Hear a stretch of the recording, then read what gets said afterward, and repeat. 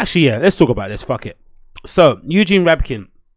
Um, I made a video about him previously. He's the I'm he's the head hunter at Styles at Style Zeitgeist, a very popular kind of avant-garde uh, fashion platform and forum um, during the time when Superfuture and Fifth Dimension Forum and a few other places were kind of dying, um, Style Zeitgeist was still the place that a lot of people that are kind of fans of Ann Demeulemeester, Rick Owens, and that whole um, kind of like goth ninja look was still posting fit, still posting pickups, still posting like sale notices and shit. It was kind of a thriving community. So it's sort of it sort of survived the um the advent of Instagram and all those places because a lot of people that were on forums are now just posting their fits directly onto Instagram or they have like kind of places they kind of uh, pages they sort of follow on there. So for the most part, it's sort of like made forums redundant and also the kind of uprising of uh, Facebook groups and like pages is also kind of um, relegated um, forums to the kind of never regions of the internet. But for the most part, Zeitgeist has been able to reinvent itself. They've now got a magazine. They've got a pretty popular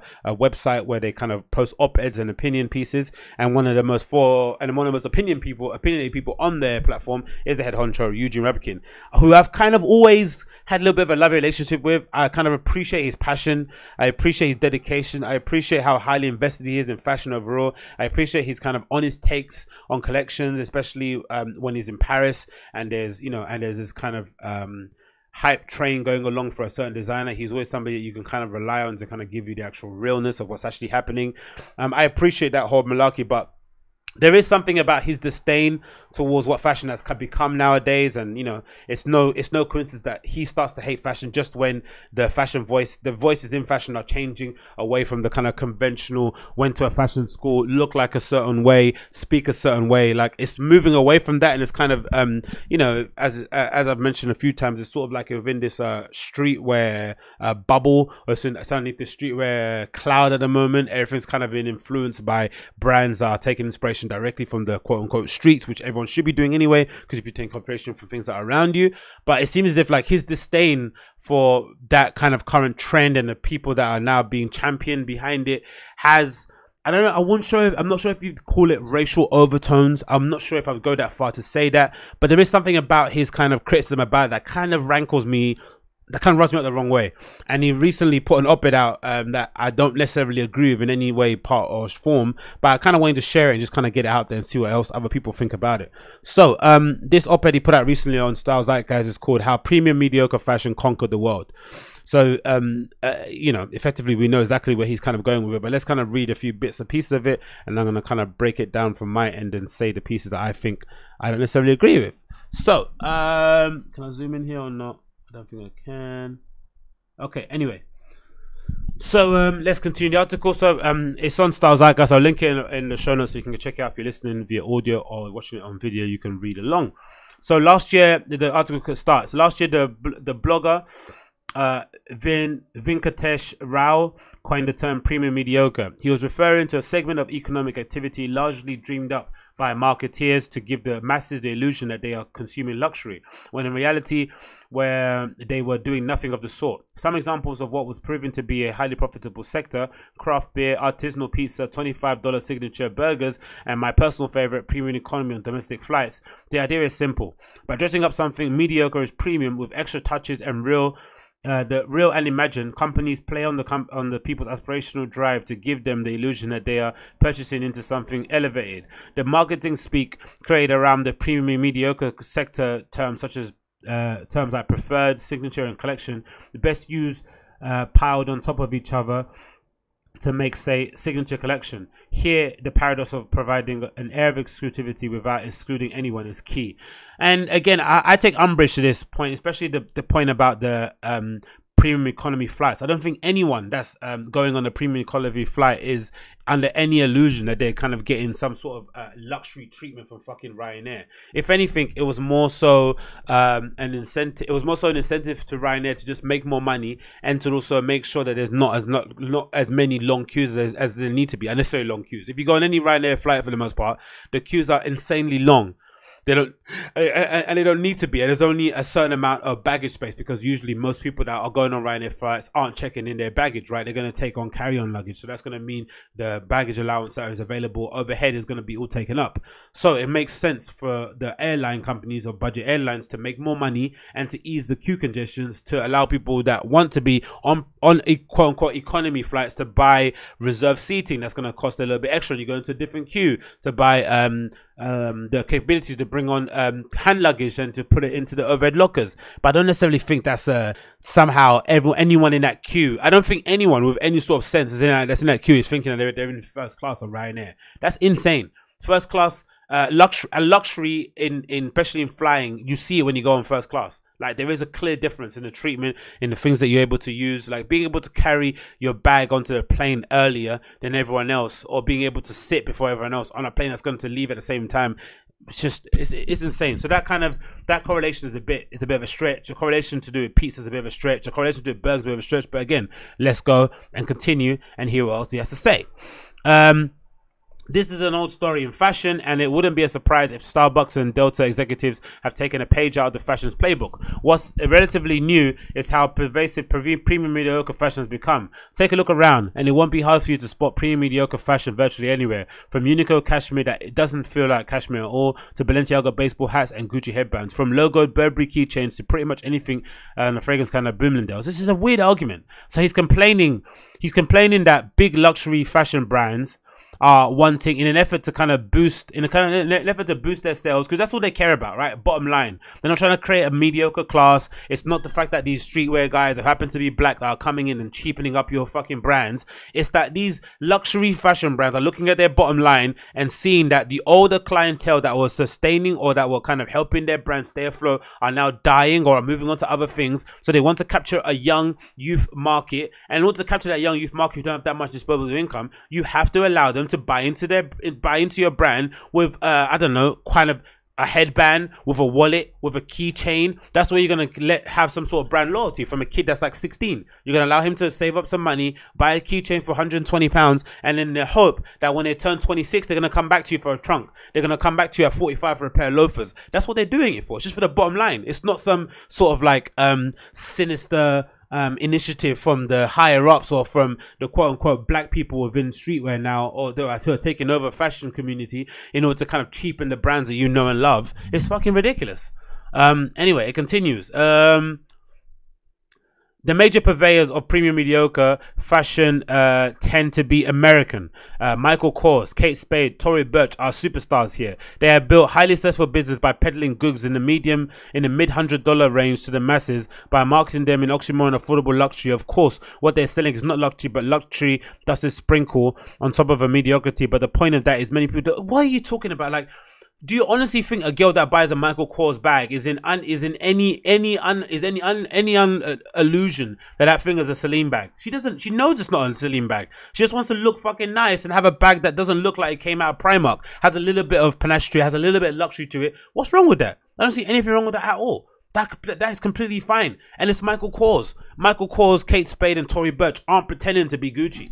They're not pretending to be. It's a different kind of luxury. The times have moved on the the consumer is a little bit more discerning, but they also want access to these brands. They also want to be able to have entry level items, and these are entry level brands um, I'm I'm I'm pretty sure people that buy into Michael Kors will eventually then progress up to Valentino and wherever the other brands are. But they need some sort of entry system into fashion. This what's this um, idea about keeping it walled and keeping it gate? This is this is like this is this sounds like somebody who's bemoaning the demise of gatekeepers, who's kind of um, reluctantly reluctantly trying to hold on to his power. Not reluctantly, desperately trying to hold on to his power. Like it's ridiculous. It's gone. It's gone. Unfortunately, it's gone. Anyway, that, that's what continues. Still, I getting wrangled myself up for no reason. Premier Looker extends to higher um, echelons of fashion as well, largely entry level uh, product range, which is fine, which is how it should be. It's entry level product range. Eugene, premium mediocre is the Prada nylon backpack, the Louis Vuitton bag with with a coated canvas, the three hundred seventy five dollar Celine card holder. This segment of luxury fashion has been doing extremely well because the margins in the premium mediocre segment are economically high. No, it's not. It's because loads of people are buying it because they want to buy into the brand. Yes, the margins are good for the business, but why it's been doing well is because people want to buy into Celine, but they might not have Celine money. They might not have enough money at the moment to buy ready to wear pieces at that present time. So what they do buy is they buy the card holder, is they buy a t-shirt, they buy a tote bag, they buy a scarf. That's fine. That's okay because eventually what you're hoping is that this discerning customer who's who's kind of traversed, who's kind of walked past all the fast fast all the fast fast the fast fashion stores, is kind of left left behind Zara, left behind H&M, excluded them and saved up all their money to buy a fucking Celine scarf that isn't cheap, right? It's gonna like five hundred dollars plus you're hoping that in general they're going to appreciate that scarf and see, wow, this scarf has lasted me four years, five years, and it's survived many washes. I'm then going to then invest into a pair of trousers, into into a blouse, into I don't know a necklace, whatever it may be. That's what you're hoping is. That's what the hope is when you make an entry when you make an entry level an item in your collection. Jesus. Um, as far as as far as 2015, according to um, Euromonitor International, luxury small leather goods accounted for 5.7 billion in sales, projected to grow to 7.5 billion in 2020. On Lyst.com, the fashion shopping aggregator, plastic sandals by Givenchy and, and Gucci routinely top the most sought after product category. But that makes complete sense, though, right? If you are trying to buy into Gucci and you want an entry level item, a best way to do it is to buy some slides. What is the what is the annoyance here? Pre mediocre fashion is not a new phenomenon. During the 80s, Parisian couture licensed their name to mass market manufacturers. Blah blah blah blah blah blah. Anyway, he continues on the bottom here. The logo is key because in the age of Instagram, where people curate their lives in two dimensions on a small screen, the logo is more important than um, the product itself. And the best part about consuming premium mediocre today is that no one will scoff because no longer in good taste for the rich to turn their noses up at the rest of us. Democratization of fashion is trendy and provides us all with a with a therapeutic illusion that we're somehow more equal. What the fuck are you talking about? You absolute donut. Um, of course, it's not only an illusion. All you need to do is score on medicine. Look, okay, I'm, I'm gonna stop reading it because he's gonna contaminate me with whatever um hater juice he's got going running through his system at the moment.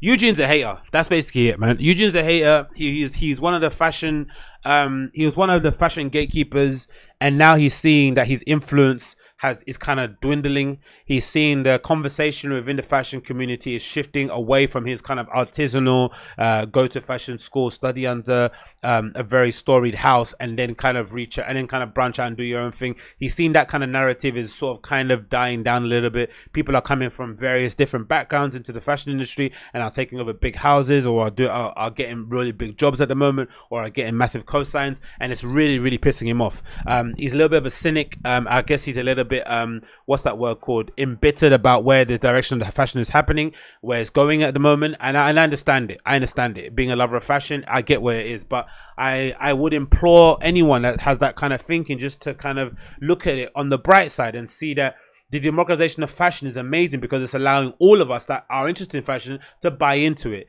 to be able to attend a show. The democratization of fashion means that big fashion brands are live streaming their fashion their, their fashion shows, um, their runway shows in Paris, especially the most the the the, the place that I kind of keep my eye on for the most part. When I was back in Canning Town reading uh, Sunday Times style magazines in the comfort of my home, desperately trying to uh, envision myself uh, taking part of in fashion, being involved in that community before I knew about all the nonsense that goes on in it. But when I was dreaming about getting involved, I would have loved to have been able to have a live stream of a Saint Laurent show. I'd have loved to be able to see a live stream of a, of a Dior Homme show where Hedi Slimane was there. But it wasn't it wasn't something that was happening at the time because fashion had not been democratized at that moment. It wasn't where it is now, where it's part of the general conversation. So democratization of fashion is allowing kids nowadays to be able to have access and see runway shows in their full glory for the comfort of their own home, which is then inspiring them to create their own little fashion moments or their own little fashion collectives or their own little fashion community within the industry, that within the place that they live in now. It's an amazing time to be a fashion enthusiast. It's an amazing, amazing time. We have access to some of the biggest and best brands. We have some of the best talent that are now kind of getting involved in fashion because there's so much money involved in it now that kids actually see themselves, see a career um, long lasting within the industry, which wasn't something that would be said a few years back. The, the, the people that were getting paid the most were the ones that you saw in front of the. Uh, in front of the camera screen. But now the people behind the scenes are getting paid, if not as much, if not more than the people that are involved in uh, that that are in the front, such as the influence, what it may be. Look what's done to the influence. It's allowed a whole generation of people who have been blessed with good looks, blessed with good style, to make money from just wearing cool outfits. That's fucking amazing. That's so cool. Re- research and research and development uh, departments for brands are now able to kind of put out pieces and give them to or see them out to influencers in order to kind of gauge what piece is going to sell, what piece is not going to do well. They're able to do um, interesting launches. Pop pop ups in terms of launching stuff online. Like some cool stuff is happening right now with fashion that is far away from the kind of cynical end. If you look at from the Eugene Rabkin side of like, oh, look at all this stuff, logo driven, all this stuff, whatever. Who this is amazing all brands that are all the brands that he mentioned the gucci's the louis vuittons the celines whatever they may be yes they have uh, some logo heavy pieces that are uh, permanently aimed at people who want to wear things on instagram and have it photographed and stuff so photographs well that's fine. But for all the logo heavy stuff there's still many many pieces in fashion collections that you can get that have no excessive branding on it that you can just wear that that are good pieces in general. And just because it has brand doesn't mean it's bad if it has branding on it, you don't like it. Just don't buy the branded piece. I'm a big fan of Supreme. I have been since the since I've kind of discovered Supreme in I don't know in 2003, whenever it was when I first um, happened to stumble upon a brand. Nowadays, uh, you never see me dead in the box logo. I'm not gonna wear a, a jumper with, with uh, Supreme inscribed on the front of it or whatever. But there's still many pieces within it within the collection that I can be a fan of and buy but I'm not going to begrudge them for uh, catering to that market that wants to have a jacket that says Supreme on it 57,000 times. That's fine. It doesn't cheapen the brand to me. It just means that they're able to talk to different people. They're able to talk to a skater. They're able to talk to a fashionista. They're able to talk to me. That's that's in the middle. It's the best time ever that we're that's that's ever existed, in my opinion. For somebody that's been locked up in the bedroom, reading through magazines, it's my only access to um, accessing the fashion community. And now have websites like Now Fashion that that takes pictures of uh, people at the collect uh, people at the runway shows, um, in and around the scene and stuff. You have bloggers taking pictures. You have the GQ stuff. You have the stuff on style.com and street style stuff. You have the various um, Instagram profiles that sharing content. You have brands um, live streaming their stuff online, live in their streaming and stuff on IG. It's fucking amazing. Demarketization of fashion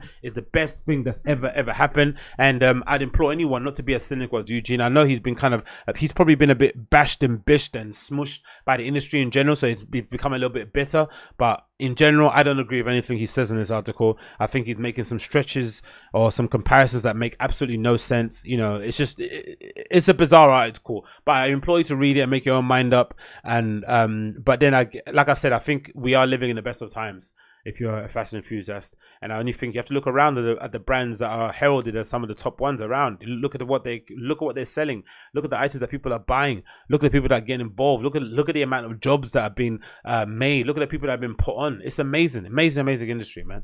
And I fucking love it. And I won't have anything bad said about it. Anyway.